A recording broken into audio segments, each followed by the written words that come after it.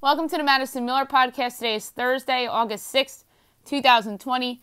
Today I'm going to recap yesterday's NBA, NHL, Major League Baseball, and MLS is back. So my final game, look ahead to tonight's games in the NBA, NHL, Major League Baseball, and the second of the two MLS is back semifinal games. We'll go over the current leaderboard at the PGA Championship.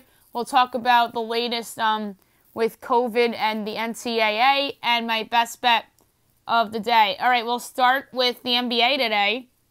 We'll go over the results from those games and look ahead to today's game. Six games to go over. The Jazz over the Grizzlies 124 to 115. Utah 43 and 25. Memphis 32 and 37. Joe Ingles led the Jazz in scoring with 25. Um, Mike Conley at 23. Rudy Gobert at 21 and 16. Royce O'Neale had 15. Donovan Mitchell at 18. So all the starters in double digits. And Jordan Clarkson off the bench had 14. Meanwhile, for Memphis, Dillon Brooks led them in scoring with 23. Ja Morant had 20 with 9 assists and 6 boards. Jonas Valanciunas 21 points and 14 boards. Kyle Anderson had 12. And off the bench with 20 points, Grayson Allen. 76ers over the Wizards 107 98. The Sixers are 41 and 27. Washington is 24 and 44. Joel Embiid 30 points, 11 boards. Tobias Harris had 17. Josh Richardson had 15. Shake Milton had 14 and off the bench um, with um, 10 points. Furkan Korkmaz and Ben Simmons was injured in this game. Um, but reporting from uh, Adrian Wojnarowski, uh, he should be fine. Um, Meanwhile, for Washington, Thomas Bryant had 19 with 10 boards. Troy Brown Jr. had 17 with 8 boards. Ish Smith had 12. And off the bench with 19 points, Justin Robinson. Nuggets over the Spurs, 132 to 126. Another best bet cashes with the Nuggets involved. They're 45 and 23. San Antonio is 29 and 38. Michael Porter Jr. had 30 to lead the Nuggets. He's been amazing in this restart 30 points, 15 boards. Nikola Jokic, 25 points and 11 assists. Monte Morris had 19. Jerami Grant had 22. And PJ Dozier off the bench had 12. And meanwhile, for San Antonio, Rudy Gay had 24. DeMar DeRozan had 18. And Gay, by the way, off the bench. Derrick White, 23. Um, Keldon Johnson had 20. Patty Mills had 14 off the bench. And Drew Eubanks had 12 off the bench. He looks like the next uh, Davis Bertans off the bench, scoring that many points. Thunder over the Lakers, 105 86. OKC 42 and 25. Lakers 51 and 16. Chris Paul at 21 to lead the way for the Thunder. All the Thunder scorers, um, I'm sorry, all the Thunder starters in double digits. Paul 21, Shai Gilgeous-Alexander 13. Um, Steven Adams had 18. Danilo Gallinari had 19. And Luguentz Dort had 14. LeBron had 19. Anthony Davis only had 9 points, 5 boards, and 5 assists, and 5 fouls. So him being in foul trouble really hurt the Lakers. Last night, Kyle Kuzma had 10 off the bench, and Dion Waiters had 14 off the bench. It was a really bad game for the Lakers. Raps over to Magic 109.99. The Raps are 49-18. Orlando 32 and 37. Fred VanVleet had 21 for the Raps. Marcus Gasol 13. OG Anunoby 12. Pascal Siakam 15. Serge Ibaka 11 off the bench. Norman Powell 14 off the bench. Nikola Vucevic had 12 for the Magic. Evan Fournier 15. Gary Clark off the bench had 10. Wesley Iwundu at 11 off the bench. And Tyson Ross had 15 off the bench. Celtics over the Nets 149 to 115. I think this is the most amount of points I've seen in a regulation game all season, let alone the bubble for anyone. Um, in regulation in a regular season game, Boston 45 and 23, Brooklyn 32 and 36. Jaylen Brown had 21 points to lead the way. Marcus Smart had 12. Daniel Theis had 10. Gordon Hayward 18. Jayson Tatum had 19 off the bench. Robert Williams had 18 and Brad Wanamaker had 13. Meanwhile, for Brooklyn, their leading scorer was Jeremiah Martin off the bench with 20. Dzanan Musa, 13 off the bench. Um, Donta Hall had 11 off the bench. Joe Harris had 14. Jarrett Allen had 11. And Caris LeVert had 13. It's funny they put their starters back in for this game and then they get their butts kicked. All right. Going ahead to today's games, um, the first game today is at 1.30 between the Pelicans and the Kings. The Pelicans are four point favorites according to FanDuel. And I personally would make the Pelicans a three point favorite. So, one point edge towards Sacramento. I'm not going to uh, touch this game because it's close. Um, but the total I kind of like, and I would leave the over. I think that both of these teams play a fast pace. They can score a lot of threes. They barely play any defense. So I'm going to go over 235. Do I feel good about it? No. The Pacers and the Suns. The Pacers are two point favorites. I would make Indiana a two and a half point favorite. So, yet again, another close line. And, um, of course, everybody's adjusting because um, both of these teams have been playing very well in the restart. I'm going to go with another over here. Both of these teams have been scoring very well in this restart. TJ Warren being a surprise contributor for Indiana. Devin Booker playing in some big games for the first time in his life and really has made the Suns a dark horse to steal that eight seed. Everybody's penciling in Portland right now, or even still the Pelicans. But um, I think Portland's in the driver's seat for the eight seed. I don't think Memphis is getting it because of the Jaren Jackson Jr. injury. That's too big of a blow for them. But the Suns don't count them out. But I like the over 229 in this game. In terms of picks to win the game straight up, Pelicans and Pacers. But um, because the numbers are like kind of where I think they should be. I'm going to go with the totals here. So over 235 in the first game between Sacramento and New Orleans, and over 229 in the second game between Indiana and Phoenix. Miami and Milwaukee is a game today at 4 o'clock. Milwaukee is a nine point favorite. Milwaukee should be favored by six. That is a very big line. I'm taking Miami in the in the nine. I think this line's going to go down. Um, I have a good edge on Miami right now. I think that they have a chance to win this game outright. I would sniff at the plus 320 on the money line as well. You know what? I am picking the Miami Heat to win this game outright. Screw that. I, I kind of like them to win the game outright. Um, Jimmy Butler might not be playing. I guess that's why the line's very high. And Jimmy Butler is a four point player. And if Jimmy Butler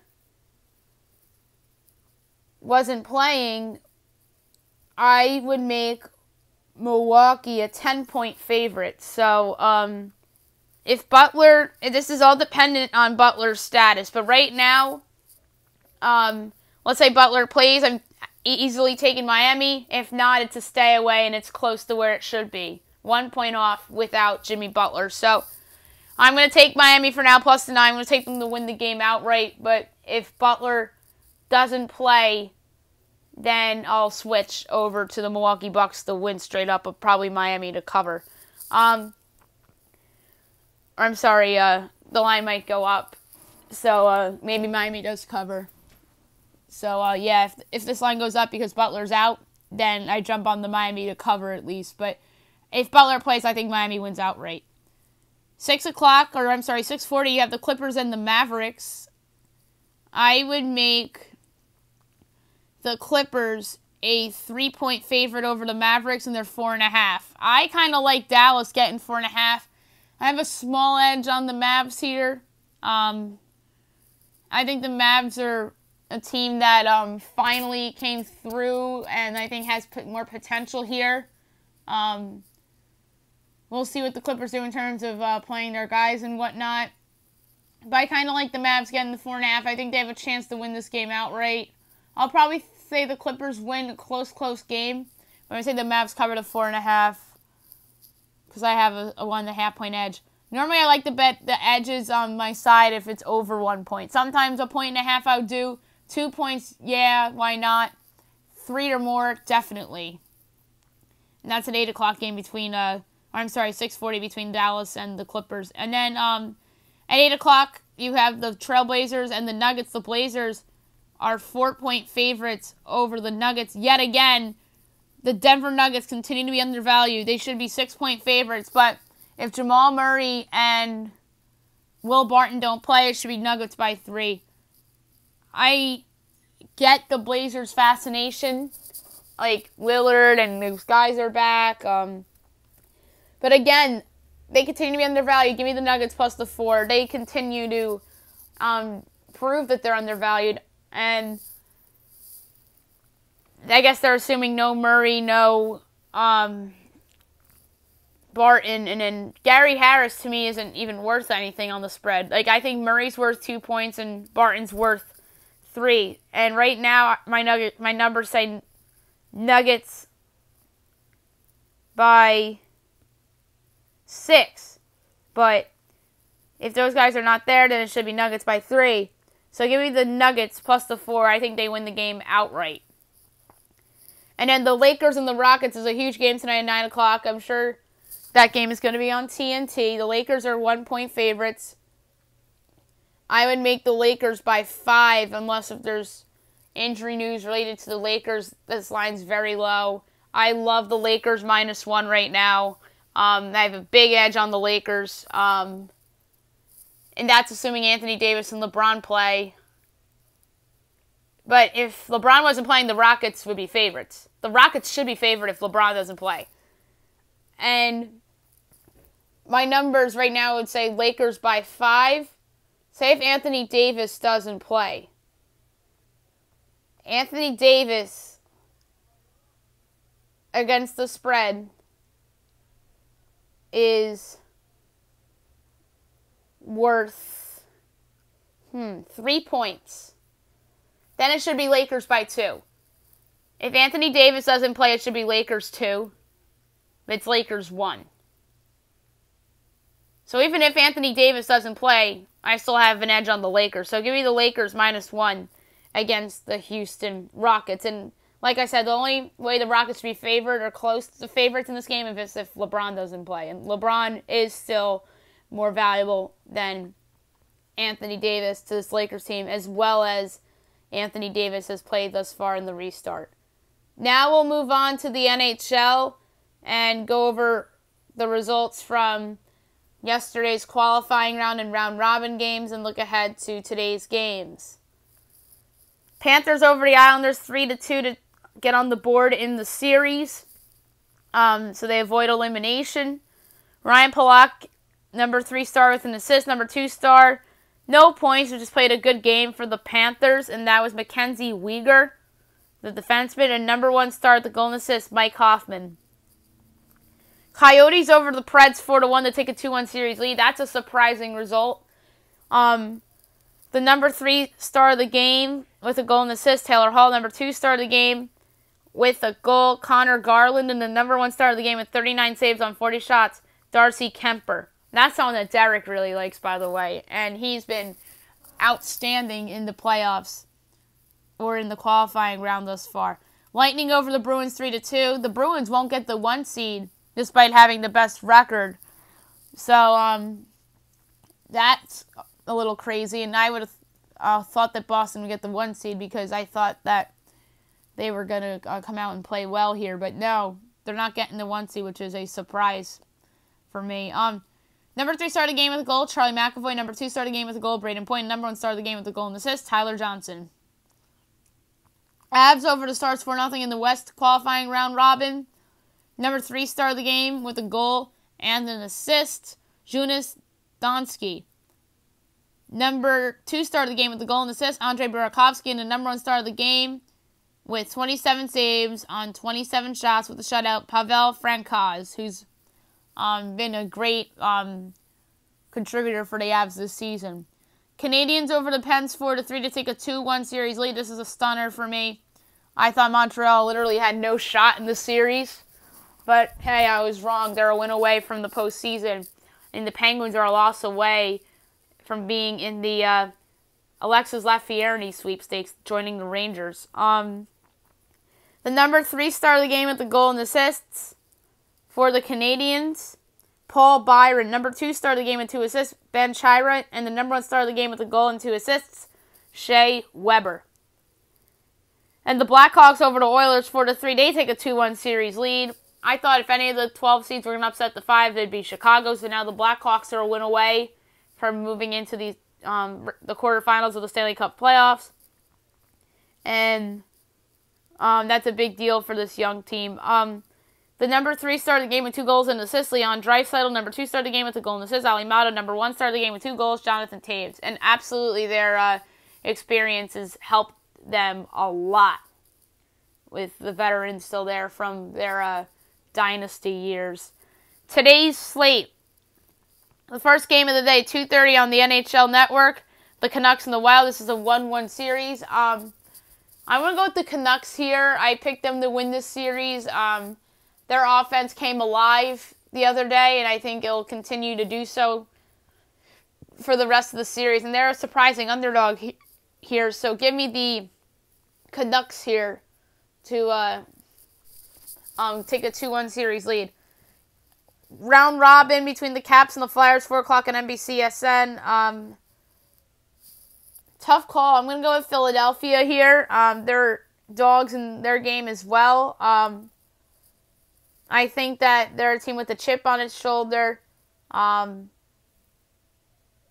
Alain Vigneault is a really good coach. I do not love the Capitals coach.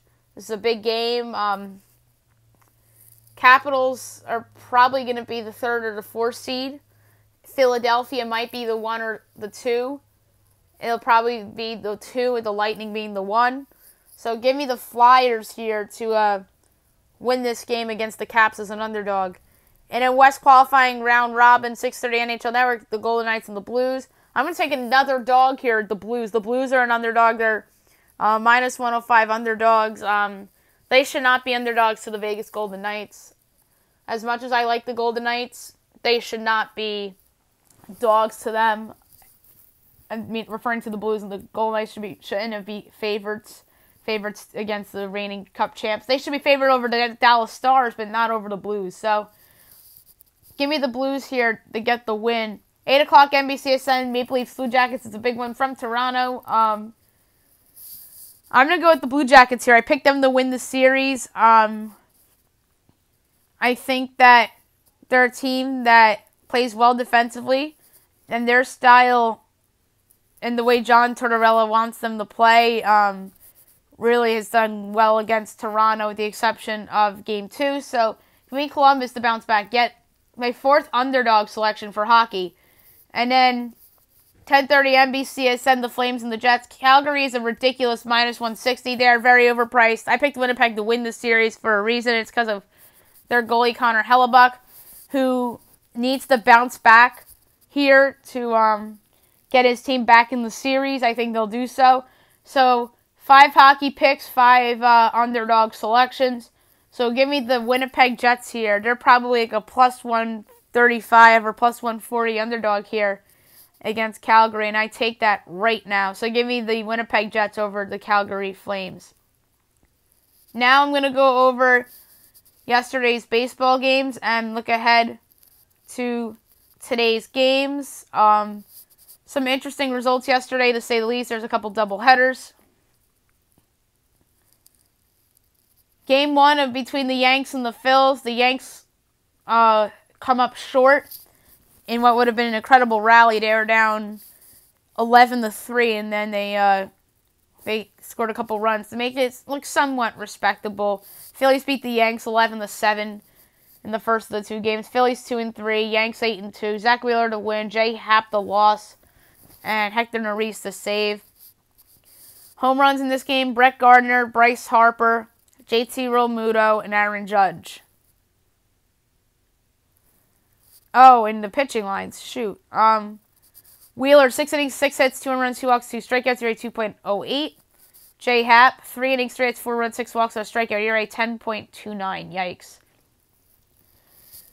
Game one of two between the Marlins and the Orioles. Marlins out on top, one nothing.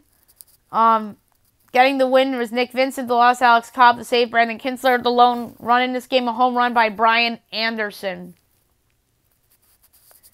Elieser Hernandez, four and a third, two hits, no one runs, a walk, five strikeouts, ERA of zero. Alex Cobb, five innings, two hits, and a run, three walks, seven strikeouts, ERA 2.51. Mets over the Nationals, three to one. The Mets are five and eight. The Nats are four and five. Rick Porcello the win, Eric Feed the loss, Seth Lugo the save, Max Scherzer left after laboring through just one inning last night. Um, hopefully he's okay. Home runs in this game, um, there were none, but Juan Soto had an RBI double in his first at bat back, so that was good to see. Rick Porcello, seven innings, five hits, and a run, no walks, four strikeouts, ERA 6.92. Scherzer, an inning, a hit, and a run, a walk, and a strikeout, ERA 3.29. Red Sox over the Rays 5 0. The Red Sox are 4 and 8. The Rays are 5 and 7. Martin Perez the win. Ryan Yarbrough the loss. Home runs in this game. Alex Verdugo is first as a Red Sox, and Michael Chavis. Martin Perez, 5 innings, 4 hits, no runs, 2 walks, and 4 strikeouts, ERA 3.45. Ryan Yarbrough, 5 innings, 8 hits, 5 runs, and walk, 5 strikeouts, ERA 3.78. Twins over the Pirates, 5 to 2. The Twins have an MLB best of 10 and 2. Pittsburgh 2 and 10. Ryan Dobnak the win, Trevor Williams the loss. Home runs in this game, Max Kepler and Josh Bell. Dobnak, six innings, three hits, and a run, no walks, at a strikeout ERA of 0.6. Trevor Williams, seven innings, three hits, and a run, a walk, five strikeouts, ERA 3.52. Blue Jays over the Braves, two to one. The Blue Jays are four and five. Atlanta eight and five. Hyun-Jin Ryu the win, Sean Newcomb the loss, and Anthony Bass the save. The lone home run in this game, Adam Duvall of Atlanta to get the Braves on the board. Ryu, five innings, a hit, no runs, walks, eight strikeouts, ERA 5.14. Sean Newcomb, five and two, or sorry, four and two thirds, five hits, two runs, a walk, four strikeouts, ERA 6.57. Indians over the Reds, one nothing. Indians seven and six, Reds five and seven. Mike Clevinger to win. Tejay Antone, the loss. Brad had the save. Did I say 1 nothing? I meant to say 2 nothing. the Indians over the Reds. Clevinger, 5 and 2 thirds, 2 hits, no runs, 5 walks, 4 strikeouts, a 3.24. Antani, 4 and a third, 2 hits and a run, 4 walks, 4 strikeouts, ERA 2.08. Yanks over the Phils, three to one in the second game of the doubleheader. Yanks nine and two, Phils two and four. Adam Ottavino in the win, Tommy Hunter the loss, Zach Britton the save. Home run in this game by Luke Voit. Jonathan Loáisiga got the start, two and a third, three hits and a run, a walk, three strikeouts, ERA 4.32. Aaron Nola, six innings, three hits and a run, no walks, 12 strikeouts, ERA 3.97. He was tremendous. That was the best I've seen Aaron Nola pitch in a while. Royals lose at home against the Cubs, six to one. So the Cubs are tied with the Twins at ten and six for the best record in the league. They have the best record, obviously, in the National League. KC three and ten. Yu Darvish the win. Kris Bubic the loss.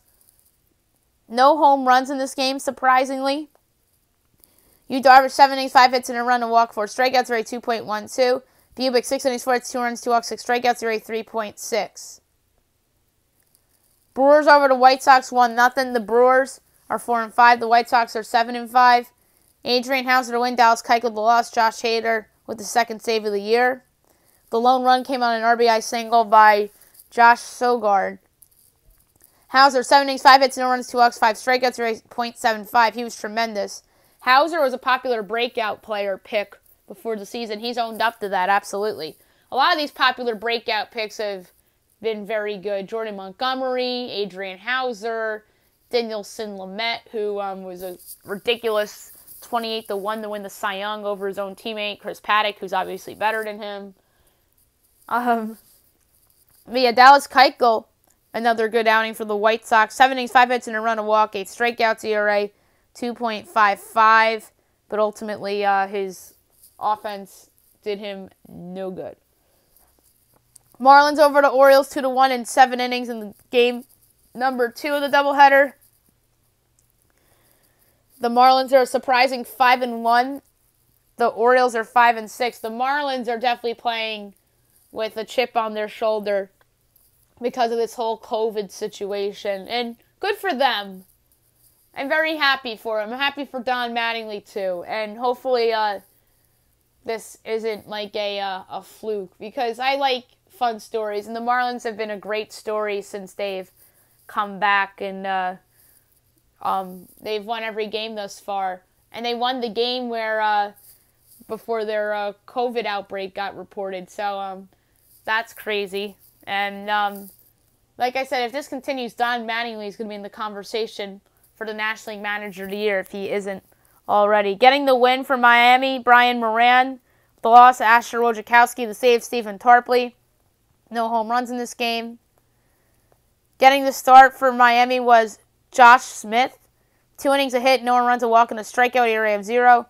Asher Wojciechowski, five innings, four hits, two runs, a walk, four strikeouts, ERA 5.4. Giants over the Rockies, four to three. The Giants are six and seven. The Rocks are eight and three. Logan Webb the win, Jon Gray the loss, and getting the save for San Francisco. Trevor Gott. Home runs in this game: Brandon Belt and Nolan Arenado. Logan Webb five innings, four hits, and a run. The walks, four strikeouts, ERA 2.13. Jon Gray five innings, or I'm sorry, five hits, six innings, three earned runs, no walks, two strikeouts, ERA 3.31. He's been pretty good thus far this season. Mariners over the Angels, seven to six. The Mariners are five and eight, and the Angels are four and eight. Marco Gonzales with the win, Julio Teheran with the loss, and Carl Edwards Jr. with the save. Home runs in this game: Max Stassi, Kyle Seager, David Fletcher, Mike Trout, and then Mike Trout again. So uh, Mike Trout um, playing motivated after becoming a daddy. And that was predictable because Mike Trout's always motivated. Marco Gonzales, seven innings, three hits, three runs, no walks, seven strikeouts, ERA 3.06. He's been good thus far. Julio Teheran, two and a half innings, two hits, two runs, two walks, two strikeouts, ERA 6.75. Today's games, um, starting in about 20 minutes from now, Twins Pirates, Kenta Maeda and, and JT Brubaker. Um, Maeda 2 0 to 1.64 ERA, whip of 0.64. And Brubaker, um, no decisions with the 0 ERA with a whip of 1. So uh, the Twins have never seen him before. Although some of the Pirates guys have seen uh, Kenta Maeda. 3 o'clock, you have the Giants and the Rockies. Tyler Anderson against Kyle Freeland. Anderson on 1 to 3.68 ERA, whip of 1.91. Freeland 2 0 to 1.5 ERA, whip of 0.83. So Kyle Freeland has been looking like the guy from two years ago, and that's a great sign for the Rockies. The Rockies have been a pleasant surprise thus far this season as well. 330 or 340 Rangers Athletics. Mike Minor and Mike Fiers. Minor 0 2 with a 5.91 ERA, whip of 1.41. Fiers no decisions with a 5.4 ERA with a whip of 1.2. 4 o'clock, Angels Mariners. Dylan Bundy and Taijuan Walker. Bundy 101 to 2.84 ERA, whip of 0.71. Walker 101 to 4.35 ERA with a whip of 1.06. 6 o'clock, you have the Yankees and the Phillies. Jordan Montgomery against Zach Eflin. Montgomery 1 0 to 1.59 ERA with a whip of 1.06. He was tremendous against the Red Sox in his last time out. Eflin is making his season debut. Reds Indians. Um, Luis Castillo against Carlos Carrasco. Castillo 0 with a 4.5 ERA with a whip of 1.33. Carrasco 1 1 to 3.75 ERA with a whip of 1.08. So that's a nice pitching matchup there. 7 o'clock, you have the Blue Jays against the Braves. Nate Pearson against Touki Toussaint, or Toussaint. Pearson, no decisions with the 0 ERA with the whip of 0.8. He was awesome in his big league debut. Toussaint, no decisions with an 8.1 ERA with a whip of 1.8. On Fox tonight, you have the Astros and the Diamondbacks. You have Brandon Bielak against Zac Gallen. Bielak 2 0 the 1.69 ERA with the whip of 1.31. Gallen, no decisions with the 2.7 ERA with the whip of 1.3. Um, this should be an interesting match. It's on Fox. Um, surprisingly, baseball's on Fox on Thursday nights. Um, in terms of a pick, I'm going to go with the Diamondbacks. I love Zac Gallen. He was one of my breakout pitchers for this season, and I think he'll still continue to prove that. And I think the Diamondbacks will come away with a much needed win to uh, get them to five and eight on the season. And then the other game on Fox is the Cubs and the Royals. That's going to be shown here in the New York area. Um, Tyler Chatwood against Brad Keller. Chatwood 2 0 the .71 ERA with the whip of .79.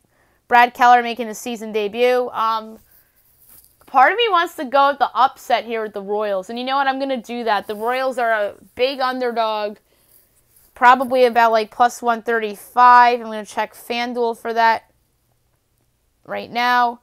But I like Brad Keller. I think he's a good mid rotation guy, but I just don't think Tyler Chatwood is this good. So it's an anti Chatwood pick more than a uh, um, pro Brad Keller pick. They're plus 148, so they're almost um, plus 150. So I'm going to go with the Royals in the upset here over the Chicago Cubs, who have um, been off to a tremendous start this season. 7:30 of the Orioles and the Marlins. Um, Wade LeBlanc and Jordan Yamamoto. Uh, LeBlanc 1 0 the 4.09 ERA with a whip of .82. Yamamoto making his season debut.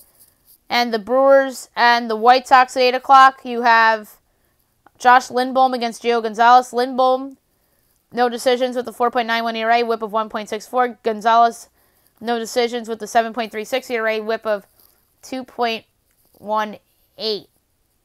Now I'm going to go over uh, the soccer game from last night and uh, preview and predict tonight's MLS is back game. Um, so, coming out with the win was the Portland Timbers, 2 1 over Philadelphia. So, Portland's in the title game, which will be held on Tuesday night next week. Um, and Portland got on the board first in the 13th minute of the match on a goal by Jeremy Ebobisse to go up 1 0. Second half, 70th minute, Portland goes up 2 0 on a goal by Sebastian Blanco. And then Philadelphia gets on the board in the 85th minute on a goal by Andrew Wooten. And then Philadelphia falls short. They go home. They're um, they're done for the tournament, and Portland goes to the final. Tonight at eight o'clock, you have Orlando City and Minnesota. Um, two teams that um, have really done a good job in this tournament. Um, I didn't think either of these teams were going to be that great in the tournament. I was really way off predicting who would make the field of 16. There were some teams that were not expected to be in the top 16 that made it, like Cincinnati. I wasn't sure about Orlando City, but they made it. Minnesota, I was down on, they made it. But here, both of those teams are in the semifinal. Orlando City is very good. They have Nani, they have Urbino, um. Minnesota has a lot of good players on their team as well. Luis Amarilla, Tyler Miller, the goaltender, Aaron Schoenfeld, Robin Lod. In terms of a pick, I like Orlando City. I think they're the better team. Led by Nani and Rubino. So give me Orlando City over Minnesota. And by the way, um, the favorite in this game is Orlando plus 125. Minnesota's plus 185, which I think is a ridiculous price for them considering how well they've been in the tournament. And then the draw before the uh, the shootouts plus 230. Okay now I'm going to give out uh, or take a look at the leaderboard in um, the PGA Championship. Um, there's a lot of big names, obviously, in this tournament. Your leader, as of right now, is Zach Johnson with four under. In the tie for second place, you have Scotty Scheffler and Bud Cauley with three under. A big tie for fourth with two under. Um, Brooks Koepka, Jason Day, Dustin Johnson, Justin Rose, Matthew Fitzpatrick, Abraham Ancer, among those in there. And the tie for 15th with one under among those Tony Finau and Daniel Berger, Xander Schauffele, Tiger Woods, Justin Thomas, Luke List. Um, Jo Hyun Kim. Even right now in the tie for 33rd, Ryan Palmer, Steve Stricker, Kevin Kisner, Collin Morikawa, um, Jason Kokrak, Danny Lee, Louis Oosthuizen, Zach Johnson, Chez Reavie. One over is the tie for 51st. Shane Lowry, Lucas Glover, Patrick Cantlay, Harris English. In the tie for 59th with two over, Jordan Spieth, Rory McIlroy, Mackenzie Hughes. In the tie for 69th with three over among those, uh, Michael Thompson. In the tie for 74th with four over, um, no one really uh, big, big time. Uh, Nick Taylor's in there, uh, Danny Willett. And then in 78th with five overs, Rod Perry. Among those still yet to go, uh, 330 Tyler Duncan. Um, you have JT Poston going at 358. Um, among other notables, Patrick Reed at 414, as well as Kevin Na. Um, Bubba Watson at 425. Viktor Hovland at 436. Rickie Fowler at 447. Phil Mickelson at 458, as well as Sergio Garcia and Jon Rahm. So that's a nice uh, trio there. Webb Simpson at 509, Ian Poulter at 509, Doc Redman at 515. Um, um, also, you have um, Lucas Herbert and Mark Hubbard around 526. And that's really it among uh, notables. So this should be a very fun tournament. And I said yesterday that I had picked Dustin Johnson to win this one. Now, before Best Bet, I want to talk about the NCAA COVID situation. Big news yesterday the first FBS program to cancel its season, the UConn Huskies. Um, UConn, this really shouldn't surprise anybody. Obviously, UConn's going over to the Big East um, next year. And they did that for basketball reasons, not really for football reasons. But um, their football team's the worst in the FBS, though. I mean, they would have only won one game anyway, and let's face it, um, their basketball teams probably make more money than their football teams, and that's like one of the few um, programs you could um, actually say that about. And um, and so Randy Edsall, um, I bet you feels bad, and he's somebody that I think if um, we had a season, he'd be coaching for his job. But like, I'm not totally shocked that it was UConn. It was the first of the FBS to cancel its season, and perhaps the only. I don't know if it'll be the only, but um, so far it's the only. And I think if they were, were playing, they would have been the worst team in the FBS, as they usually are every year. It's either them or, or the last couple years, it's either been them or sometimes it'd be UMass. Sometimes it would be UTEP or UTSA. They're bad. And also, you're seeing um, big conferences going to conference only. The Big Ten came out with their schedule yesterday. It's conference only. Um, you saw the Big 12 come out their conf- their schedule this year. They have 10 game schedule. You have nine conference games, and then each team has a non-con home game.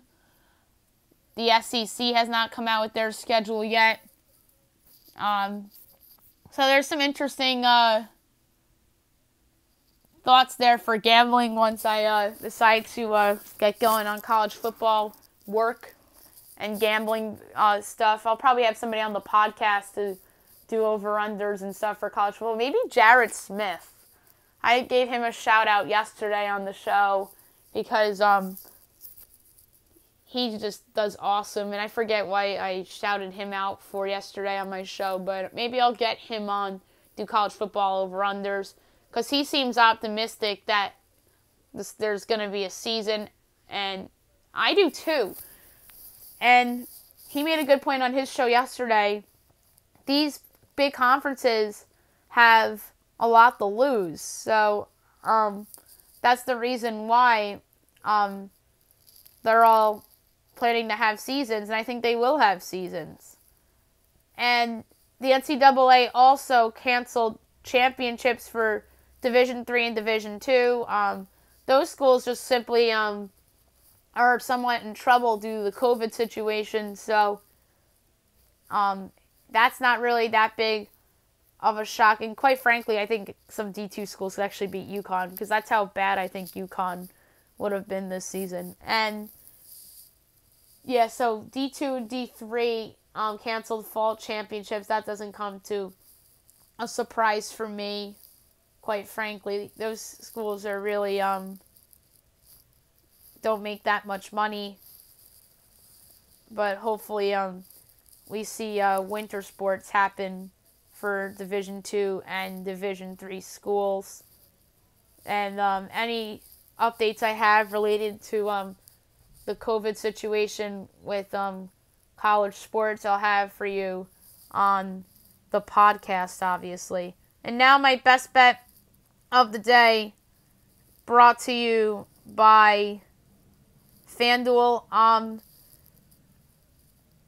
I am going to continue to ride with my horse, and that horse is the Denver Nuggets. They have been unbelievably good to me in this um, restart. They are underdogs against the Blazers, plus four. I'm going to ride with them again, and I think they're going to win the game outright. Um, with their guys, they should be six. Without Murray and Barton and Harris, they should be minus three, not plus four. And all due respect to the Blazers, they've been great in this restart. Maybe the Blazers win, but the Nuggets cover. If the Blazers win by one, I win this bet. So give me the Nuggets plus four against the Portland Trailblazers as my best bet of the day. And that's it for the show. We'll be back tomorrow recapping everything from basketball to hockey to baseball to MLS. We'll look at the golf leaderboard. We will pick the four NASCAR races for the weekend and a lot more. Hope you guys have a great day, everyone.